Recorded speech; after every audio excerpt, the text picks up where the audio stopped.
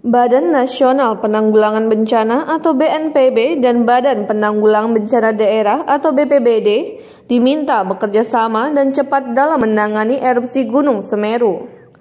Bantuan tanggap darurat ini harus segera diberikan kepada daerah yang terdampak terutama Lumajang dan sekitarnya, ucap Novita.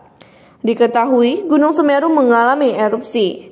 Erupsi yang diawali getaran banjir lahar atau guguran awan panas telah menyebabkan sekitar titik lokasi menjadi gelap akibat kabut abu vulkanik.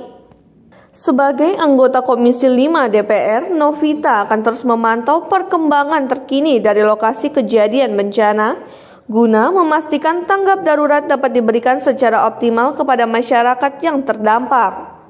Novita juga mengatakan, semoga tidak ada korban jiwa dari musibah ini. Besar harapan dan doa saya.